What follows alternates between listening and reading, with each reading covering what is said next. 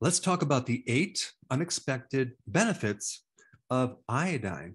Now, iodine is this trace mineral. Now, you don't need a lot of it, but you definitely need the right amount.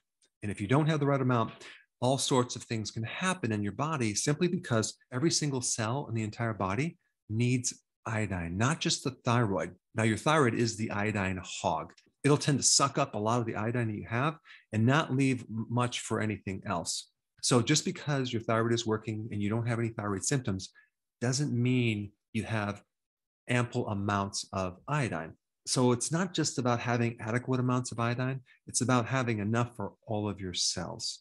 And unfortunately, the current um, RDAs for iodine are way too low. It's recommended that we need about 150 micrograms per day.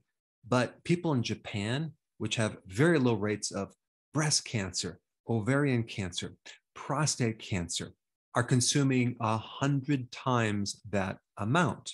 But it's mainly from sea kelp because sea kelp is one of the best sources of iodine. Now, I want to be totally transparent with you. I do have a Dr. Berg brand sea kelp. And yes, I do have a very strong bias on my own brand as far as the quality and where it's sourced from. But here's my point a lot of people are deficient in iodine. And unfortunately, it's just not in our foods anymore unless you're consuming foods from the ocean, like shellfish or sea kelp, like seaweed, etc. Now, there's a really simple way to determine if you're deficient in iodine. Simply go to your local drugstore and get a little bottle of iodine and some cotton balls. Okay. And then what you do is you take a little iodine, put it on a cotton ball, and rub it either on the inside of your upper arm or your forearm or the inside of your leg, roughly in about a two inch diameter. Now, make sure it doesn't touch your other clothes because it can stain your other clothes. And you could put a band aid over it if you want. But if you're deficient within one hour, it'll be gone. The stain will be gone because your skin absorbs it. So if after an hour it's still like orangish yellow, then you're usually not deficient. But I would say probably over a billion people on this planet have an iodine deficiency, and a lot more of them have a subclinical iodine deficiency.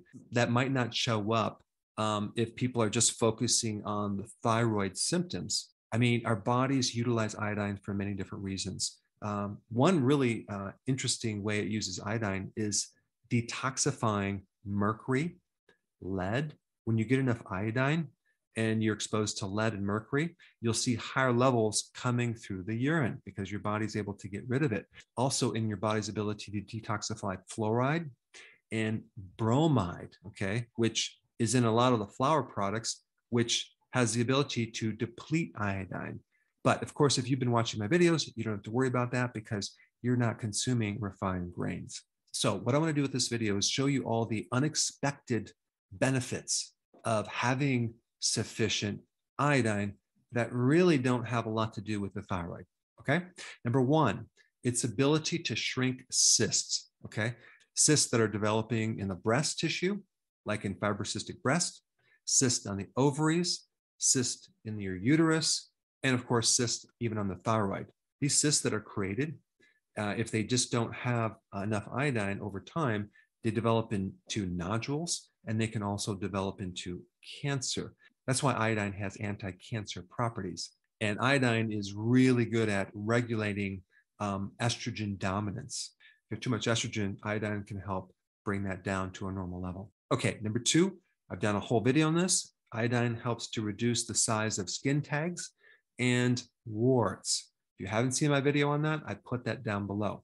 All right, next one is in its ability to help break down um, connective tissue in a condition called Dupuytren's contracture. That's a situation where you have a scar tissue on some of your tendons in your finger and your finger is just like stuck.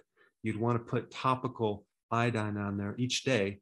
And within about a month, you should see some pretty good results. And that relates to the next benefit uh, scar regeneration. So let's say, for example, you have a keloid or some surgical scar and you put iodine into that scar each day over a period of about a month, you're going to see some pretty cool results. You might even see hair growth that occurs right over the scar. Now, if you're concerned about uh, it staining your skin, they do have a type of iodine that is clear, that doesn't stain your skin. But iodine helps break down scar tissue. All right, the next unexpected benefit would be on your mood.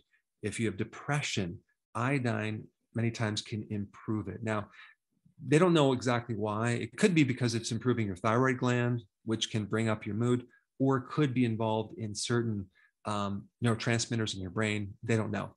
But iodine can actually bring you up mood wise. All right, next one, it can help shrink uh, stones in your parotid glands. Now, your parotid gland helps you make saliva.